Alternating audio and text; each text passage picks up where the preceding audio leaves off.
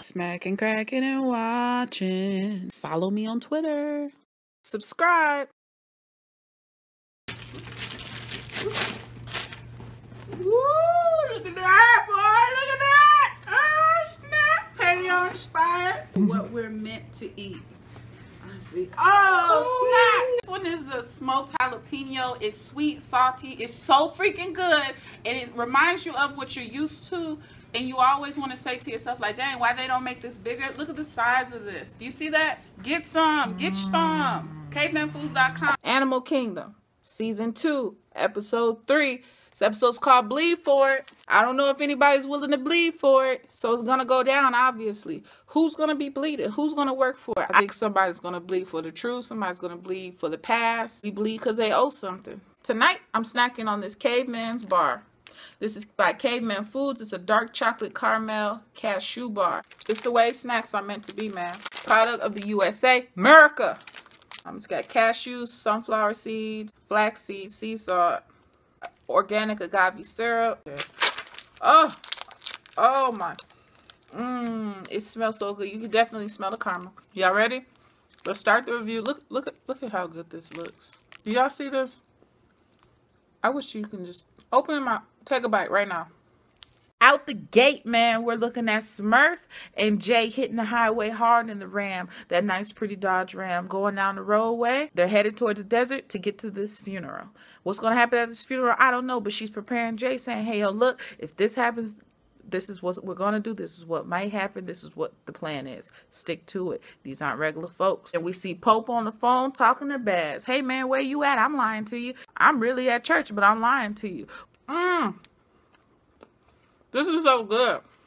I'm gonna rock out with these bites. Baz, man, you didn't even ask about your daughter. You so bogus. You're like the world's world's worst dad. So they're lying about locations. Baz was too happy when he let the words come out of his mouth saying, uh, Smurf ain't in charge. Smurf isn't running things. I am. Oh, okay, so you making your own decisions? Mm, you better hope it's not your blood that's gonna spill everywhere that she has to come clean up. Clean up, woman. Hey. This chicken does not have any nitrates in it. If you're on a ketogenic diet, this is a good snack for you. Soy-free, peanut-free, gluten-free. 10 grams of protein. And uh, what's cool too, on the package, if you like heat, there's different levels of heat. This one is a level one. Maybe a couple episodes down the road, I'll get end up at level three, level four. Craig and Darren at the new bar, aka the Alibi. Wrong show, that's shameless. Eh, what is the name of this bar? The Mermaid Place? I don't know. Whatever it is, Drop a comment below if they already have a name for the bar. Drop a comment below if you have an idea as to what would be a good bar name. It was good to see Pope in church learning the gospel, the good news, spreading the positive message of faith. Are we going to see Pope get baptized this season? The world's worst girlfriend. She'll go from family member to family member. In Smurf's kitchen, as usual, always eating. You always eating. Are they trying to say that you're are you with child? Who baby is it? Cause you done mess with a couple couple people. You better stop messing with them Cody man. But did you also catch at the bar with Craig and Darren that it had a sign saying no one under 21 will be permitted, no one under 21 will be allowed to drink? So my question is, will this bar get shut down because of her going to the bar and drinking and getting acting out and getting caught up? Is that going to be it? Probably. All right, so now we at the funeral. We're knowing now this is not a COGIC. This is not a Baptist. This is not a Presbyterian. This is not a Lutheran. Uh, this isn't. This is not even a non-denominational. These folks got holstered weapons. They have dirty jeans on. Felon wedding. I mean, a, this is a felon funeral. So be careful. Be careful. Before Smurf got out the car, though, she you see, you know how you lean up. You gotta do that lean to get to do that lean to get in your in your glove box. She she did that lean and grabbed that revolver out. You better be packing. You better be packing because they are. With Craig and Darren, they hinted something. He's he's so tense. He wants this bar to be successful. He's so he's making himself very tense, and um, he wants it to be the best that it can. His, he's putting his heart into something for once. Be happy. He said, "It's on me. It's on me," and that's what makes me think Homegirl's gonna come in there and mess it up just because he said it's on me what the customers do. Sledgehammer, sledgehammer, bam, eh, sledgehammer, wrong side. I said this side. I was like, oh man, you got to pay attention, Mr. Business Owner. You got to pay, you got to be more careful. Got to be more careful. Question, will it be something in that wall? Anything could be in that wall. He might come across a gang of money underneath that mermaid's boobies. Javier. Javier is such an interesting person, and I hope we get to know more about his character as the episodes continue during season two. What we do know is that Javier is jealous. I hope y'all got your snacks. Javier is jealous of Jay. You see that? You see him? Javier is bringing up how he used to smell, he used to love the smell of Smurf's hair. That was weird. What's that about? And this tastes good. I just want to know more about their history. And we see this turquoise stone. Beautiful, beautiful turquoise stone. I love the color. What's the significance of it to Smurf and to the, now deceased man? Took the turquoise stone and left a bag full of money. Baz is up to something in Mexico, spending $1,100 on propane tanks, wires, and cases of who knows what. Hope is Oceanside and OCD in the house with Lena. They go on to see this pigeon. We hear this big thump. It's like, it's a pigeon.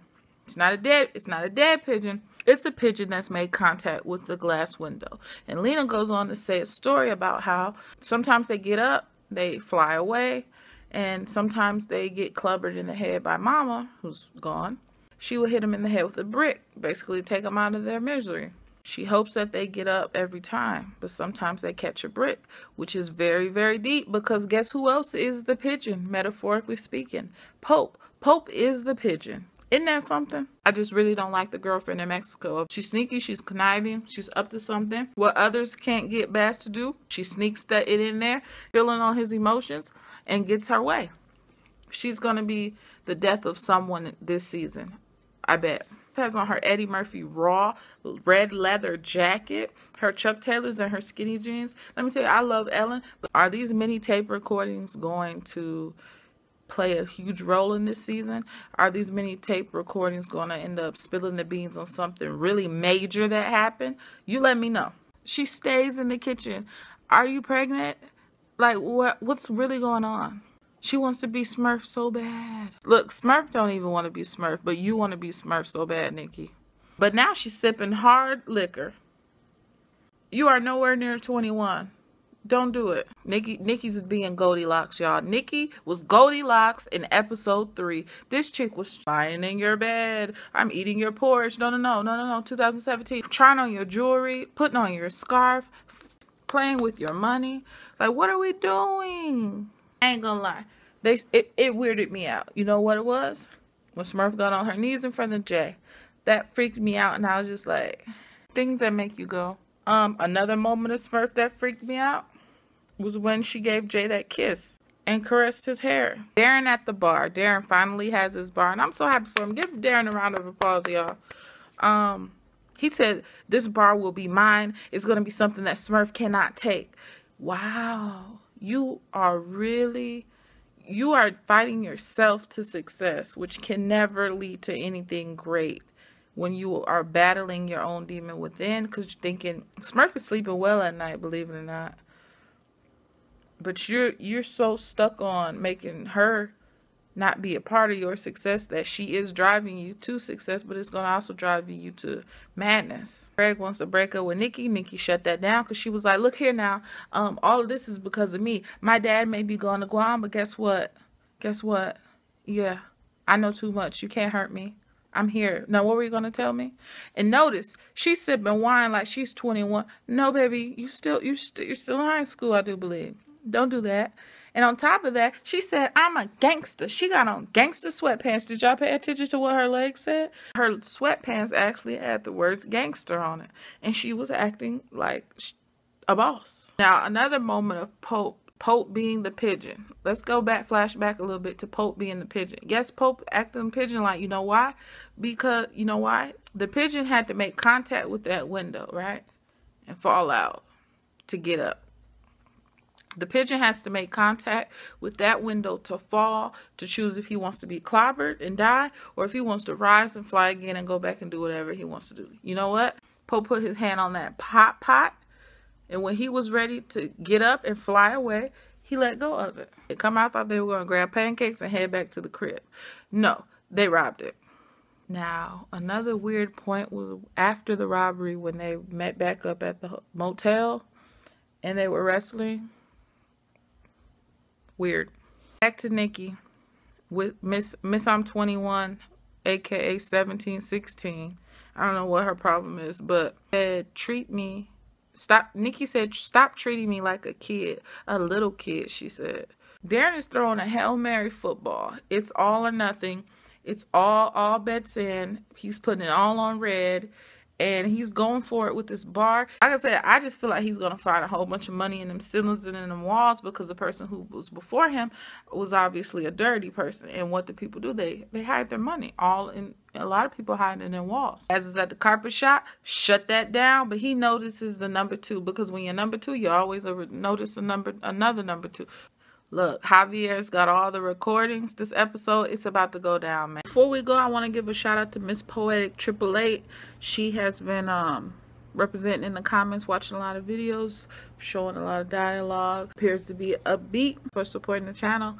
Um, you guys check out Caveman Foods because, like I said, those snacks are so delicious. Like, so delicious. Male or female, you'll enjoy it. I guarantee you because my husband tears them up. You can get them at the grocery store. Check out your gas stations. They're for a decent price. They're quality ingredients. Thank y'all for watching. Like I said, until episode number four.